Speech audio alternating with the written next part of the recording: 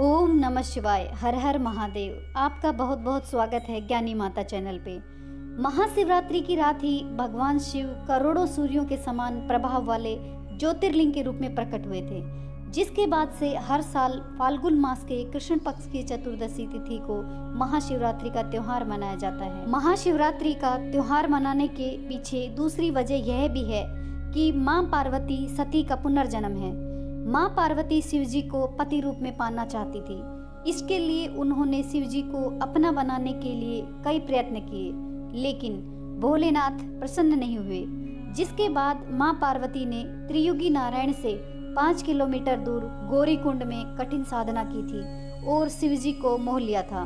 माँ पार्वती की कठिन तपस्या से प्रसन्न होकर भगवान शिव और माँ पार्वती का विवाह इसी दिन संपन्न हुआ था। इसलिए जिन कन्याओं के विवाह में देरी हो रही है, वे भगवान शिव और माँ पार्वती के इस पावन व्रत को करती हैं। भगवान शिव जैसे वर्ग की मनोकामना के लिए इस व्रत को रखती हैं। एक बार भगवान शिव और माँ पार्वती कैलाश पर्वत पर बैठे होते हैं। उसके पश्चात माँ पार्वती भगवान शिव शंकर से पूछती हैं ऐसा कौन सा श्रेष्ठ एवं सरल व्रत पूजन है जिससे मृत्यु लोक के प्राणी आपकी कृपा सहज प्राप्त कर लेते हैं? माँ पार्वती के इस प्रश्न का उत्तर देते हुए भगवान शिव कहते हैं कि शिवरात्रि एक ऐसा व्रत है जिसके करने पर मैं सभी प्राणियों को बंधनों से मुक्त कर कर मोक्ष प्रदान करता हूँ। भगवान शिव माँ पार्वती को कथा सुनाने लगते हैं। एक गाँव में एक शिकारी रहता था। पशुओं की हत्या करके वह अपने परिवार को पालता था। वह एक साहूकार का ऋणी था, लेकिन उसका ऋण समय पर नहीं चुका सका। क्रोधवश साहूकार ने शिकारी को शिव मठ में बंदी बना लिया। संयोग से उस दिन शिवरात्रि थी। शिकारी ध्यान मग्न होकर शिव संबंधी धार्मिक बातें सुनता रहा। चतुर्दशी को उसने शिवरात्रि की कथा भी सुनी। संध्या होते ही साहूकार ने उसे अपने पास बुलाया और ऋण चुकाने के विषय में बात की। शिकारी, अगले दिन सारा ऋण लौटा देगा, यह वचन देकर बंधन से छूट गया। अपनी दिनचर्या की भांति वह जंगल में शिकार के लिए निकला। लेकिन दिन भर बंदी गृह में रहने के कारण भूख, प्यास से व्याकुल शिकार करने के लिए वह एक तालाब के किनारे बेल वृक्ष पर पड़ाव बनाने लगा। बेल वृक्ष के नीचे शिवलिंग था, जो बिल पत्रों से ढका हुआ था। पड़ाव बनाते समय उसने जो टहनियाँ तोड़ी, वे संयोग से शिवलिंग पर गिरी। इस प्रकार दिन भर भूखे प्यासे शिकारी का व्रत भी हो गया और शिवलिंग पर बेलपत्र भी चढ़ गए।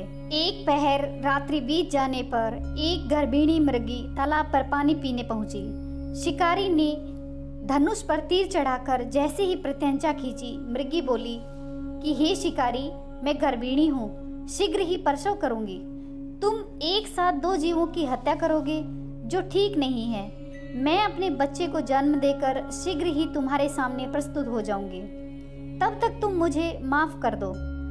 शिकारी ने प्रत्यंचा ढीली कर दी और मृगी झाड़ियों में लुप्त हो गई। कुछ ही देर बाद एक और मृगी उधर से निकली। शिकारी की प्रसन्नता का ठिकाना न रहा। समीप आने पर उसने धनुष पर बाण चढ़ाया। तब उसे देख मृगी ने विनम्रता पूर्वक निवेदन किया कि, हे शिकारी मैं थोड़ी देर पहले ही ऋतु धर्म से निवृत्त हुई हूँ। मैं कामातुर विरहिणी हूँ। अपने प्रिय की खोज में भटक रही हूँ। मैं अपने पति से मिलकर शीघ्र ही तुम्हारे पास आ जाऊँगी। शिकारी ने उसे भी जाने दिया। दो बार शिकारी अपने शिकार को खोकर उसका माथा ठिनकने लगा। वह चिंता में पड़ गया। रात्रि का आखिरी पहर बीत रहा था। तभी एक अन्य मृगी अपने बच्चों के साथ उधर से निकली। शिकारी के लिए यह स्वर्णिम अवसर था। उसने धनुष पर तीर चढ़ाने से कोई देर न लगाई। वह तीर छोड़ने ही वाला था कि मृगी बोली, हे पारधी, मैं इन बच्चों को पिता के हवाले कर कर लौट आऊँगी। इस समय मुझे मत मार। शिकारी हंसा और बोला, सामने आए शिकार को छोड़ दूँ? मैं ऐसा मूर्ख दिखता हूँ क्या? इससे पहले मैं दो बार अपने शिकार खो चुका हूँ। मेरे बच्चे भूख प्यास से तड़प रहे होंगे। उत्तर में मृगी ने फिर कहा, जैसे तुम्हें अपने बच्चों की ममता सता रही है, ठीक वैसे ही मुझे भी। इसलिए सिर्फ़ बच्चों के नाम पर मैं थोड़ी देर के लिए जीवन दान मांग रही हूँ। हे पारधी, मेरा विश्वास कर, मैं इनके पिता के पास छोड़कर तुरंत लौटने की प्रतिज्ञा करती हूँ। मृगी का दीन स्वर सुनकर शिकारी को उस पर दया आ गई। उसने उस मृगी को भी जाने दिया। शिकार के अभाव में बेल वृक्ष पर बैठा शिकारी बेल पत्र तोड़ तोड़ कर नीचे फेंकता जा रहा था। पो फटने को हुई। एक और हष्ट पुष्ट मृग उसी रास्ते पर आया। शिकारी ने सोच लिया कि इसका शिकार वह अवश्य करेगा। शिकारी की तनी प्रत्यंचा देखकर मृग विनित स्वर में बोला, हे पारदी भाई, यदि तुमने मुझसे पूर्व आने वाली तीन मृगियों तथा छोटे छोटे बच्चों को मार डाला है तो मुझे भी मारने में विलंब न करो, ताकि उनके वियोग में मुझे क्षण भर भी दुख न सहना पड़े। मैं उन मृगियों का पति हूँ। यदि तुमने उन्हें जीवन दान दिया है तो मुझे भी कुछ क्षण जीवन दान देने की कृपा करो। मैं उनसे मिलकर तुम्हारे सामने उपस्थित हो जाऊँगा। मृग की बात सुनते ही शिकारी के सामने पूरी रात की घटना का चक्रक्रम घूम गया। उसने सारी कथा मृग को सुना दी। तब मृग ने कहा, मेरी तीन पत्नियाँ जिस प्रकार प्रतिज्ञाबद्ध होकर गई हैं, मेरी मृत्यु से अपना धर्म का पालन नहीं कर पाएँगी। अतः, जैसे तुमने उन्हें विश्वास पात्र मानकर छोड़ा है, वैसे ही मुझे भी जाने दो। मैं उन सब के साथ तुम्हारे सामने शीघ्र ही उपस्थित होता हूँ। उपवास, रात्रि जागरण तथा शिवलिंग पर बेलपत्र चढ़ने से शिकारी का हिंसक हृदय निर्मल हो गया। उसमें भगवत शक्ति का वास हो गया था। धनुष तथा बाण उसके हाथ से सहज ही छूट गए। भगवान शिव की अनुकंपा से उसका हिंसक हृदय कारुणिक भावों से भर गया। वह अपने अतीत के कर्मों को याद करके पश्चाताप की ज्वाला में जलने लगा। थोड़ी ही देर बाद मृग सहपरिवार शिकारी के सामने उपस्थित हो गया, ताकि वह उनका शिकार कर सके। किंतु जंगली पशुओं की ऐसी सत्यता, सात्विकता एवं सामूहिक प्रेम भावना देखकर शिकारी को बड़ी ग्लानी हुई। उसके नेत्रों से आंसुओं की झड़ी लग गई। उस मृग परिवार को न मारकर शिकारी ने अपने कठोर हृदय को जीव हिंसा से सदा के लिए हटा दिया। कोमल एवं दयालु हृदय अपना बना लिया। देवलोक से समस्त देव समाज भी इस घटना को देख रहा था।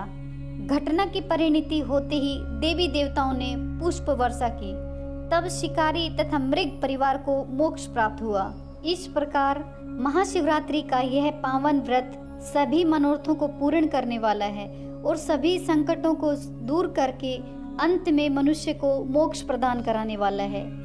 इस प्रकार महाशिवरात्रि की रात भी अत्यंत महत्वपूर्ण होती है। भगवान शिव के सिर पर चंद्रमा सुशोभित है। चंद्रमा को मन और मस्तिष्क का कारक माना गया है। कृष्ण पक्ष की चतुर्दशी की रात में चंद्रमा की शक्ति लगभग पूरी तरह क्षीण हो जाती है, जिससे तामसिक शक्तियाँ व्यक्ति के मन पर अधिकार करने लगती हैं, जिससे पाप प्रभाव बढ़ जाता है। भगवान शंकर की पूजा से मानसिक बल मिलता है। रात्रि के समय भगवान शंकर की पूजा करने से आसुरी और तामसिक शक्तियों से बचाव होता है। शंकर जी का रात्रि से विशेष लगाव होने के कारण ही यह त्योहार शिवरात्रि मनाया जाता है। भगवान शंकर संहार करता होने के कारण तमोगुण के स्वामी हैं। रात्रि के समय जीवों की चेतना छीन जाती है। जीव निद्रा की देवी की गोद में सोने चले जाते हैं। इसलिए रात को तमोगुणमयी कहा गया है। यही कारण है कि तमोगुण के स्वामी देवता भगवान शंकर की पूजा रात्रि में विशेष फलदायी मानी गई है। महाशिवरात्रि की यह पावन कथा आपको कैसी लगी, प्लीज़ ज़रूर बताएँ। अगर आपको यह कहानी पसंद आई है तो कमेंट बॉक्स में हर हर महादेव लिखना न भूलें।